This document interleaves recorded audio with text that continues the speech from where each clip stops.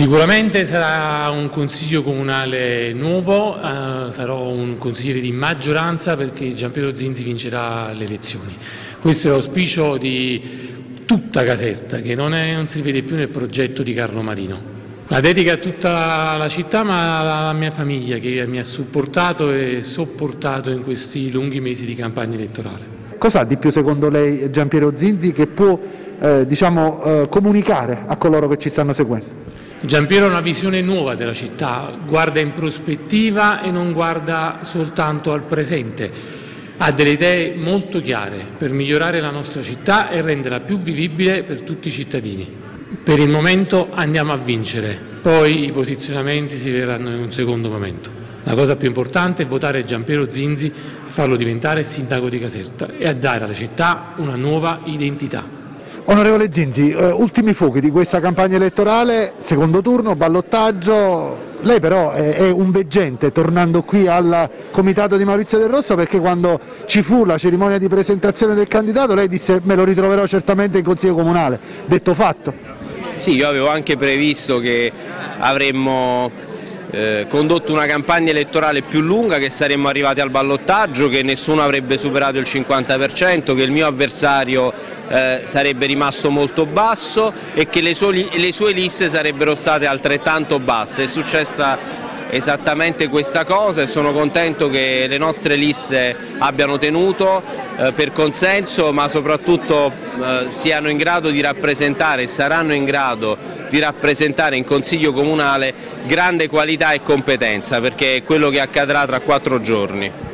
Queste sono le due bugie raccontate dai miei, dai miei avversari. Intanto partiamo dallo stadio, siamo felici che si realizzi uno stadio moderno nella nostra città, siamo felici e saremo felici di aiutare chi vorrà investire nella nostra comunità immaginando un, un, tempio del calcio, un piccolo tempio del calcio, per cui è assolutamente falso eh, dire che siamo contrari, siamo favorevoli e lo, dico una cosa in più, non sarà merito e non è merito dell'amministrazione se si realizza lo stadio, ma è merito degli imprenditori che danno disponibilità a farlo.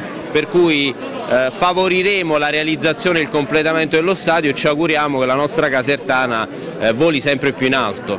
Un reddito di cittadinanza, anche qui idee molto chiare. Sul reddito di cittadinanza eh, ho sentito dire eh, tante frottole, qualcuno ha detto che avrei abolito il reddito, io non sono Mario Draghi, non sono nelle condizioni di intervenire sul reddito e peraltro sono dell'avviso che il reddito di cittadinanza per chi vive con difficoltà il quotidiano sia un supporto utile. Cosa farà l'amministrazione comunale? Quello che non ha fatto fino ad oggi. Noi metteremo nelle condizioni i percettori del reddito di cittadinanza di dare una mano all'amministrazione comunale per, in base alle diverse competenze. Chi ha competenze elevate potrà eh, supportare sul piano amministrativo, come dice la legge, eh, la macchina comunale, chi ha competenze eh, più pratiche potrà dare una mano alla manutenzione e al decoro della città, eh, determinando anche un risparmio ehm, al comune di Caserta e soprattutto un coinvolgimento che dà valore e dignità ai percettori del reddito, per cui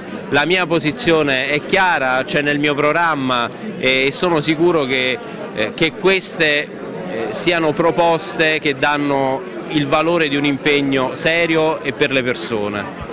Guardate, io non ho ascoltato una proposta da Marino, però peraltro qualche giorno fa ha fatto girare un video di insulti nei miei confronti, quindi io non sto spaventando proprio nessuno. La città mi conosce, sono figlio di questa città, sono nato a Caserta, ho 38 anni e, e, insomma, e vivo la città eh, da normale cittadino non ho nulla e nessuno da spaventare, forse ad essere spaventato è proprio lui per il risultato che lo aspetterà lunedì, per cui si faccia coraggio e venga a fare un bel confronto pubblico con me magari in piazza.